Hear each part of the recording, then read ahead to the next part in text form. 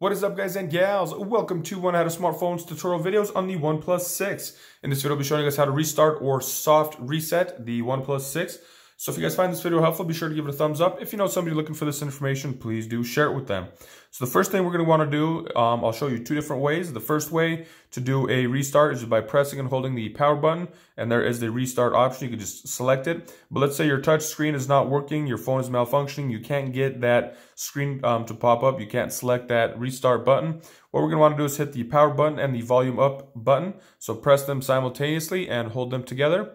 Uh, the little vo uh, volume menu appears, but just keep holding. You will get that black screen.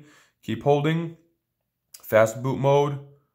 It's there. I'm going to go ahead and release the buttons. So right up here, we're going to be using our volume up and down buttons to go through the menus. So there's a power off, there's a recovery mode, a restart boot loader, there is a start, and then it goes back to power off. So you can use the volume up and down buttons to go through that uh, menu.